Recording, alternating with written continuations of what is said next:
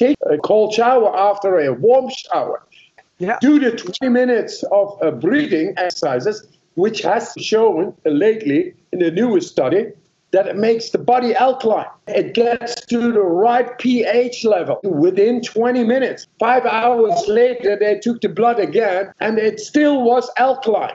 You know, what you're saying, it's so simple. Making your blood alkaline. It's simply through breathing. Every time we breathe out, we breathe out carbon dioxide. And carbon dioxide is acidic. The Wim Hof technique, the breathing technique of 30 deep breaths, you actually create an alkaline state just through hyperventilation. It's controlled hyperventilation. You know, a great example of uncontrolled hyperventilation? If someone has a panic attack, they uncontrollably breathe really fast. You know what they Yeah. give them as a treatment? They give them a, a paper bag to be able to breathe into so they could re-breathe in the carbon dioxide and breathe in acidity so they won't go into respiratory alkalosis.